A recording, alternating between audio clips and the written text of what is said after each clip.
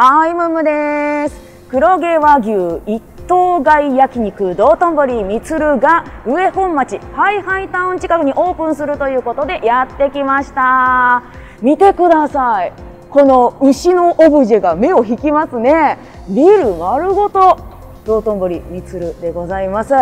早速ですね、お店の中に入っていきたいと思います。道頓堀みつるの売りはですね黒毛和牛の一頭買いが、え売りとなっております。で黒毛和牛一頭買いですので希少部位だったりとか、え通常部位を安く提供させていただいているんですが、えそれに加えて、えー、と解体業者さんっていうそのお肉をさばく業者さんがいるんですけど、えそちらの部門も、え会社の方で賄っておりましてそちらの、えでかかるコストの方も削減できてます。でその上で、えー、全てそういう部分のコストを省いてって、えー、美味しいお肉高品質なお肉を、えー安価でお客様に提供させていただいております。はい、ただいまから試食の方をさせていただくんですが注文の方はこちらのタッチパネルで注文いたします。するとですねなんと配膳部がその品物を持ってきてくれるということでちょっと楽しみですね。はい。来ました来ました来ました。スムーズに運んできますねしかし。ちゃんとこうお客様に取りやすいようにこう向きをこうねほら変えて。さあそれでは商品を置いたらこの黄色のボタンを押します。押します。はい。はい。でこのね回転して変えていくんですよね。これあのお子様とかすごい喜びそうですよね。あーさ先にですね。こちらのネギタンの塩焼き。を食べたいと思います。ネギがもうふんだんに乗ってますね。やっぱりいいですねこのタンのね。おおおえ？でかい。太麺軽く炙るだけで食べれそうな。それ。はい。じゃあタンはレモンをつけて食べたいと思います。可愛らしいですね。わかりやすいようにこのレモンって書かれてます。いただきます。うん美味しいです。ではどんどん焼いていきたいと思います。うん。どれを見ても美味しそうですね。もう色合いが。じゃあ羽下からいきます。なんかこの焼ける。では羽下いただきます。ちょっと2枚重ねになってます。いただきます。この油この表面のこのキラキラしてる油がもう最高ですね。じゃあちょっとこちらつけだれをつけて食べたいと思います。はい。うん。柔らかい。うん。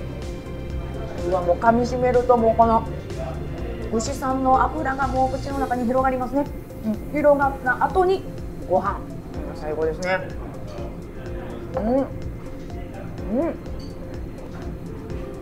友三角という部位。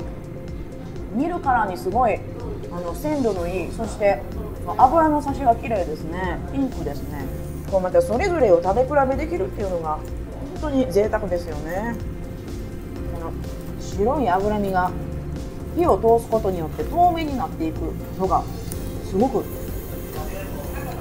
見えますね。うん。さっきの羽下より少し脂身が多い感じですね。うん。おおれが友三角です。まあ、ちょっとこのつけだれにもつけて、まあ、あのお塩とかもあるんですけどね。後でちょっと食べたいと思います。いきます。うん。おうん。羽下より少し思っていたより弾力がありますね。弾力って言っても柔らかいですけど。うん。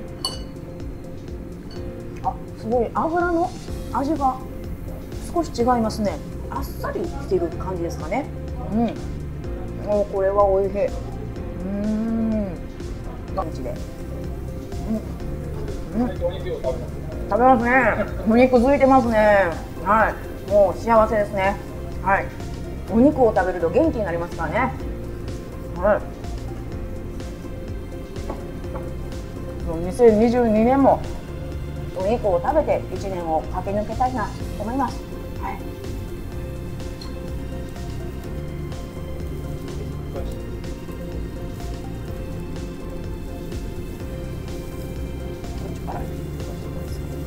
おおファイヤーファイヤーはい。ではい。ただきますじゃあ今度ははい、えー、お塩をつけてちょっと食べたい。なと思い。ますこちらですねまあ多分あのブレンドされてい。る塩っぽい。ですね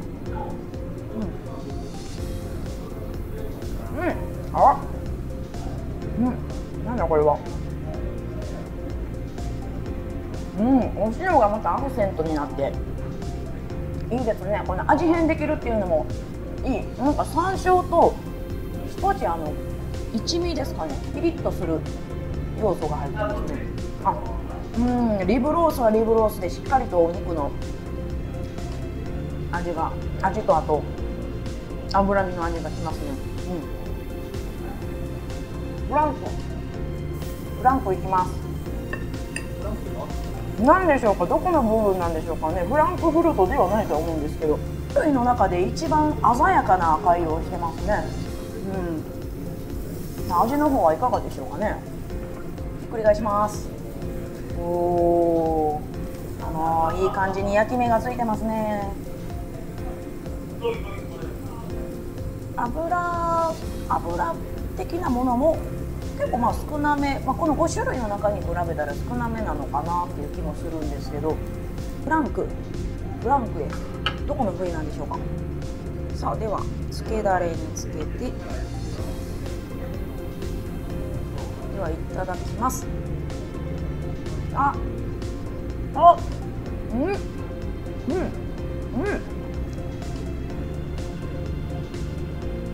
柔らかいです。味がしっかり。してますね。なんだろ？ううん赤身の味でもなく脂身の味でもなくすごくあの5種類の中では味が結構しっかりしてるようなお肉だなと思います。うん。後味もすごくね肉の香りがね口の中に広がりますね。うん。まあでもどのお肉もこうつけがたいですね。うん。この食べ比べ5種盛りそれぞれ味がね全然違います。油の量で歯ごたえ。であとまあ見た目もそうですね。色鮮やかな、えー、ものがねあのピンピンクだとかすごく目の覚めるような赤だとか。見た目もすごい楽しめますし自分だけの何ていうかこう推し肉？推し肉っていうのが見つかりそうな気がします。是非皆さん食べてみてください。